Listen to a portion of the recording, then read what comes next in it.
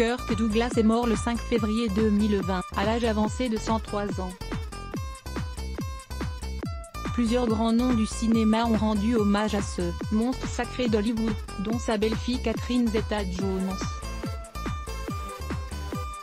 Kirk Douglas est mort mercredi 5 février à l'âge de 103 ans. Le décès de cette légende du cinéma américain a été annoncé par son fils Michael, via un communiqué publié jeudi sur les réseaux sociaux. C'est avec une immense tristesse que mes frères et moi vous annonçons que Kirk Douglas nous a quittés aujourd'hui à l'âge de 103 ans. Pour le monde, c'était une légende, un acteur de l'âge d'or du cinéma. Mais pour mes frères, Joel et Peter, et moi, il était simplement papa.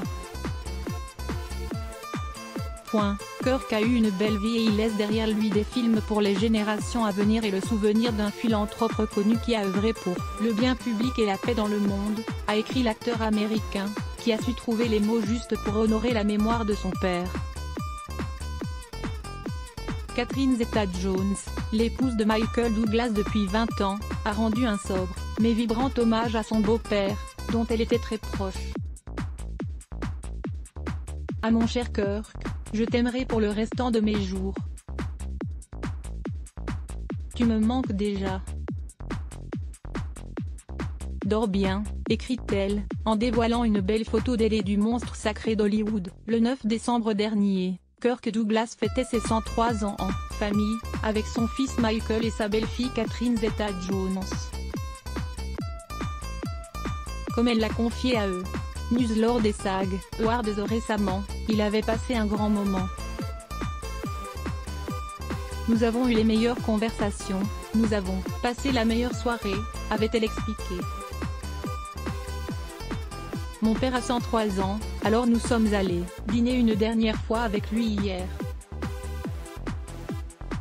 C'était génial de le voir, avait ajouté Michael Douglas. Plusieurs grands noms du cinéma américain ont rendu hommage à Kirk Douglas après l'annonce de sa mort. Sylvester Stallone, Steven Spielberg, George Takei, William Shatner, Jason Alexander, Danny DeVito, Brian Adams et tant d'autres ont eu des pensées émues après la disparition tragique d'une légende.